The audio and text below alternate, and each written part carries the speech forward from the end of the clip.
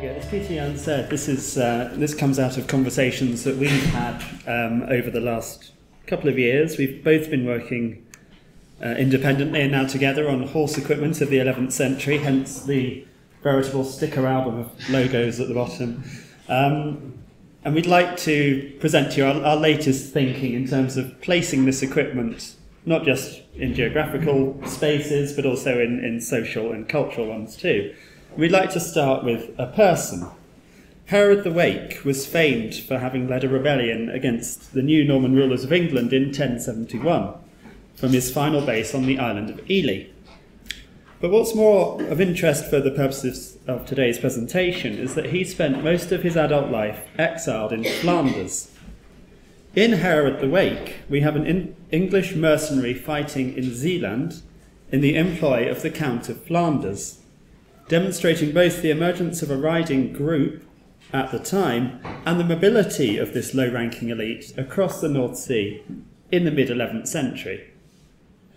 So, as I mentioned, this paper aims to provide an up to date synthesis of metalwork evidence for equestrianism in the long 11th century, taking an international approach. We're going to explore the various supranational connections and differences we can see in the surviving components um, of equestrian equipment, and then move on to attempt to assess the relative social standing of equestrianism in our case study areas. It's hoped that by taking a wide view of horse ownership and use in the 11th century, that a more nuanced sense of its cultural, political, and social function can be provided for a given country or region.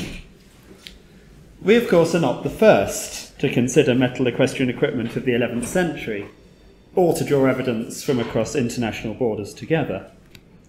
But what's remarkable about the historiography of this material is that even 30 years ago the corpus was still being defined, with the identification of relevant material developing as late as the last decade of the 20th century, or indeed the first decade of this one. And our advances in knowledge are primarily due to an, a large new data set provided by non-ferrous metalwork lost in the historic landscape and recovered in the modern day through metal detecting. So very briefly, what we now can identify are stirrup strap mounts, these objects here, which protected a stirrup strap at the point at which it travelled to the apex loop of an iron stirrup. These had mostly been thought to be box or book mounts stirrup terminals located at the junction of the tread plate and arms of a stirrup, either as part of a composite construction or to strengthen that point, and a variety of cheek pieces and bridles, my arm's not long enough, but up there, um, which can be connected formally via aspects like these three knots to other strap links which would have been located on various parts of the horse's harnesses. Following a short synthesis of this material by James Graham Campbell, which didn't include stirrup strap mounts, they had not quite been identified at the point where he was writing. It was the late David Williams in England who has advanced our knowledge of these fittings.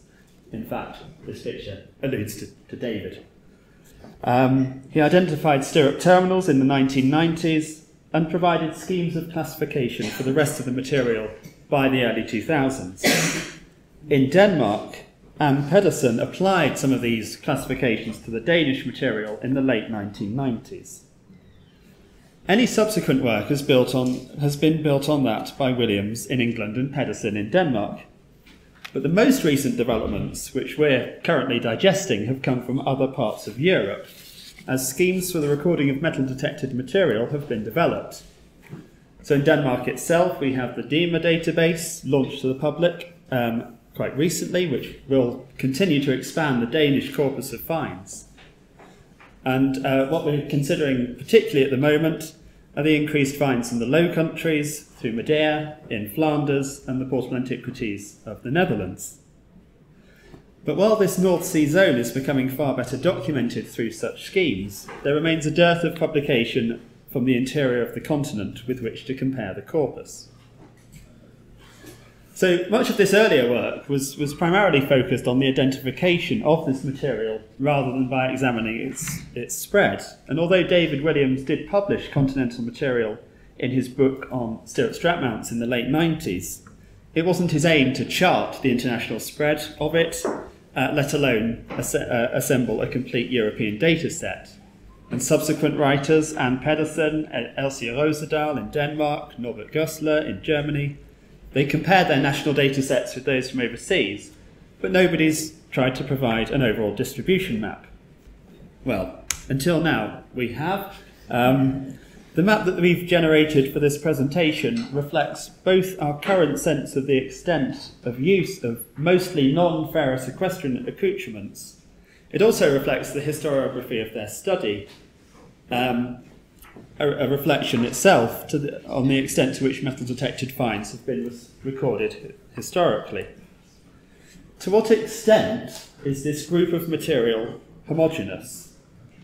Now, we don't, we don't have time to go into a highly detailed analysis of the similarities and differences, but we'd like to provide a couple of examples. So, stirrup strap mounts, David Williams divided into three main types two of which primarily the triangular class A at the top and the trapezoidal class B at the bottom, are often the latter with openwork decoration and an angle on the flange uh, where it was attached to the strap. At this very general level, we can see that although stirrup strap mounts of class B are spread throughout the whole of our study area, um, those of Class A seem to operate across an Anglo Scandinavian axis and, put rather crudely, are absent on current evidence in the Low Countries. Delving slightly deeper, discrepancies can be noted within the types and subtypes of Class B. I'm sorry I don't have a slide of this. Um, if you start comparing those from the coast to uh, to those in the interior. Those in the interior look rather different. They're of different form, pentagonal form, rather than the trapezoidal form, which have a lot more similarities with material from East Anglia over in England. And to cite the cheek pieces briefly, there are distinctions there to be drawn between the distribution of Williams Type 1, which is another Anglo Scandinavian distribution, and those of his Type 3, which seem to follow the Class B strap mounts being found both in England, eastern England, and the Low Countries. But approaching these questions of similarity and difference through typology can only take us so far, so I'd like to move on to art style. The dominant art style displayed on this equipment, um, sorry, dominant art styles are the late Viking Age art styles of Ringerike on the left and Urnes on the right.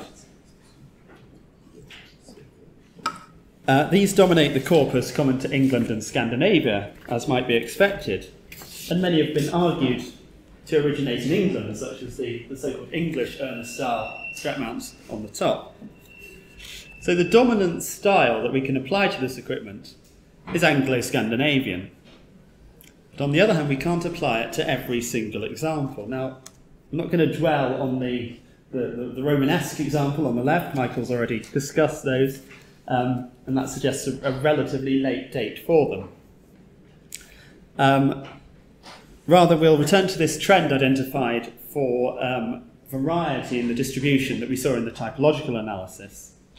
It seems apparent uh, in the material emerging from the Netherlands, exemplified by uh, examples on the right here, considered recently by Vessel Spelder, that even though cheek pieces might be characterised as being of Williams type 3, that the types in the Low Countries occupy a stylistic spectrum of animal art, one end of which can no longer be called Anglo Scandinavian.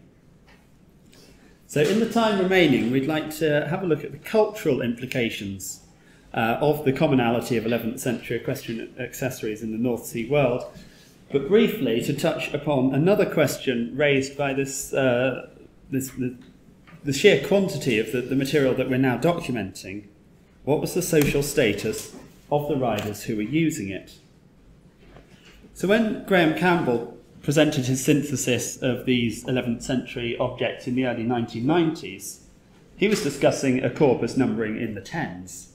And he was therefore talking in terms of the growth in use of horses by a military elite. But then, when David Williams started gathering his Stirrup strap mounts, he amassed over 500 of them.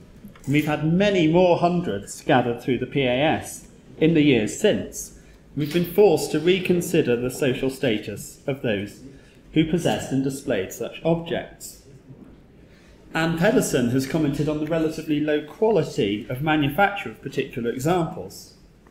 And they are generally, although they're well moulded, they're generally under embellish. There's no niello, there's no gilding. Perhaps there doesn't need to be. These are brass, they'd be shiny anyway, but there's no gilding, or at least very little on these things. So that suggests that these relatively low value copper alloy accessories were not necessarily used by the highest echelons of society. Moving from the nature of the objects to where they're found, we come up against uh, the issue that most were lost in transit in the rural landscape and recovered by metal detecting rather than by excavation. Uh, my PhD data set of these um, has 95% decontextualized rural finds, leaving very few opportunities to explore contextual association.